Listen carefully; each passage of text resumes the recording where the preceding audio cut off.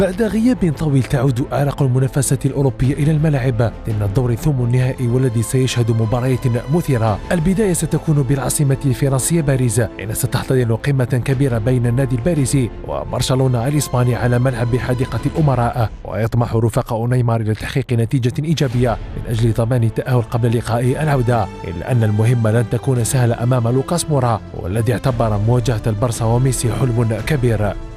Un match euh, spécial, un match différent. Je pense que chaque joueur, euh, chaque garçon qui aime le foot a envie de, jouer un match comme ça, euh, de jouer un match de Champions League contre Barcelone, contre Messi.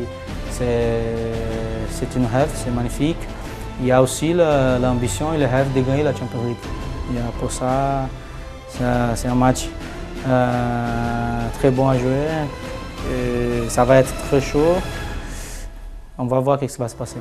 المواجهة الثانية يوم الثلاثاء سيحتضنها ملعب النور بالبرتغال بين بنفيكا وبوروسيا دورتموند الألماني وهو اللقاء الذي سيرمي من خلاله النادي الألماني بقيادة ماركو رويس بكل ثقلهم من أجل وضع قدم في الدور ربع نهائي إلا أن الخصم سيحظى بدعم جماهيره على ملعب النور وسيعمل على كبح قوة الفريق الأصفر الطامح للذهاب بعيدا في المنافسة الأوروبية